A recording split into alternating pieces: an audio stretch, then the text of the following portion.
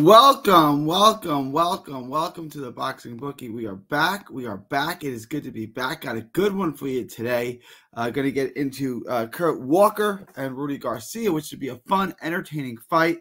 Uh, before we get into that, guys, please like, share, and subscribe. Follow 3D Boxing, 3D Boxing Blog, on all forms of social media.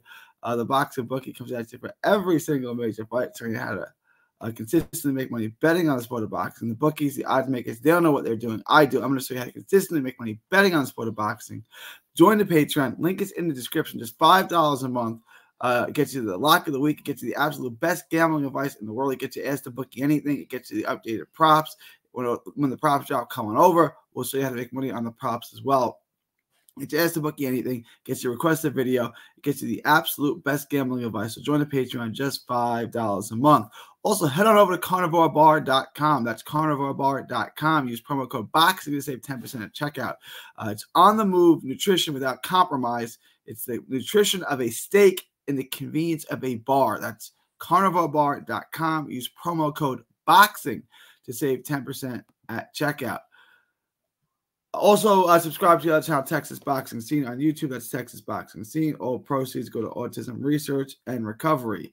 Uh, all proceeds go to autism research and recovery. So let's get into today's show. Let's get into today's show. Hang on one second. All right, Kurt Walker is, I don't mean to dump on him or crap on him. He's your typical British fighter that we see come up he's Luke Campbell. He's like that. He's got an amateur style. and I don't mean that to be insulting. He's very fundamentally sound. He's got good skills. Doesn't have any power. Doesn't look to hurt you. Only looks to score points.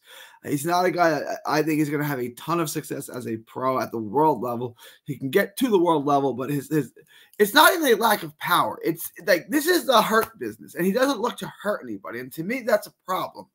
Uh, fundamentally sound, stays behind the high guard, great feet, great angles, excellent defensive skills. Uh, yeah, a little bit of a back foot guy. He's got that amateur pedigree. He's long, lengthy, uses his jab, uses his length, nice straight punches, decent speed, nice combinations, but there's no reason for any of his punches. He just looks to score, looks to score. He doesn't set things up. He doesn't attack the body. He doesn't break it down. He doesn't try to dent you it's just looking to score punches and score punches and score punches. And he doesn't sit down on his shots. It, it, it's only going to get him so far. And then when he gets in the ring with a killer who's going to try to break his ribs and break him down and hurt him, he's going to lose. And I keep saying this, and I keep I've told this to Eddie Hearn. I've told him to stop putting his British prospects in the ring with Texas fighters because they're just going to destroy him. And you're going to keep seeing this. Uh, he, he may win this fight because Rudy Garcia is a good fighter, but he may not be at that level. And there's nothing wrong with Kurt Walker. He keeps the distance really well, uses the jab, really nice jab. He can slip and slide a little bit. He can avoid shots on the inside and in the mid range. He's just not overly athletic. He's not overly fast. He's got decent speed, but he's not super fast. He's not very powerful. He doesn't commit to his shots. He doesn't go to the body. He doesn't commit to the body. There's nothing about him that says I'm a world class fighter. everything he says I'm a world class amateur. And I'm not trying to degrade the guy, but at a certain level, it's just not enough. And look, Rudy Garcia is no push uh, pushover at all. He's long as well. He likes to come forward. He's not as tight, not as clean with his combinations, but he's a decent fighter, decent skills, quick combinations just not a ton on him either. He's not super fast or powerful. Like there's uh, some similarities between him and Kurt Walker, which Kurt Walker's better. Uh, you know, he's a little bit more front foot. He moves a little, you know, he moves well. He'll come forward. He can fight coming and going. He likes to be at range. Good volume. He's similar in style to Walker a little bit in, in some ways, but he's just not as good. He's more experienced. He's got more experience. He's a tough customer. This is not going to be an easy fight. This is a massive, massive step up for Kurt Walker. The problem with him is he can't really ding up and dent Walker like that. He's not going to break him down with body shots and really slow him down and, and, and break him down. he is willing to exchange. Like I said, he's not a big hitter. He throws one too many. One he throws one at a time too much. That's what I'm trying to say. It's too much one at a time. He's good. And this is a major step up for Kurt Walker. It just isn't enough to win. Probably not. You know, the odds are probably too wide on this. Kurt Walker is an excellent amateur. He's 11 0, two knockouts. He has fought no one at this level. You go through his resume. His best win is James Beech Jr.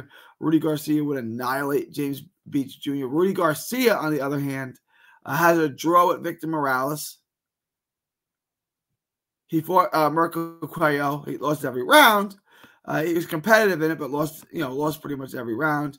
Uh, he's got a he's he's been tougher matched. He's fought better guys.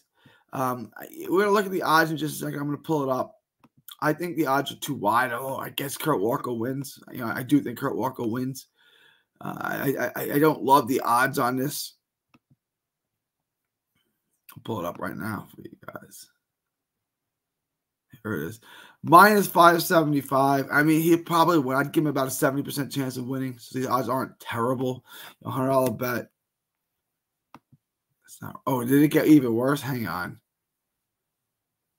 Yeah, it's out minus 700. Guys, honestly, I'd probably lay off this. He's, it went from like, just just in a couple of hours. I've been looking at this. He went from minus 575 to minus 700. I, would lay off this fight if I were you.